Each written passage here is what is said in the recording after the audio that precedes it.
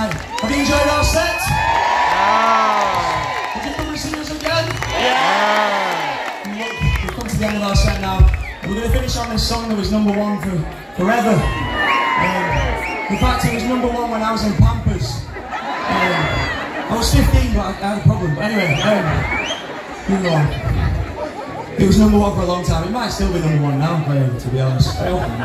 Just as I said earlier on before, nobody knows what the fuck's in the charts anymore, so uh, it might still be number one. In fact, I'm claiming it. It's still number one today. So guys, once again, thanks for coming out. Hope you've enjoyed our show. We're going to finish out this song. It's called Love Is All Around. Sing it with us, come on.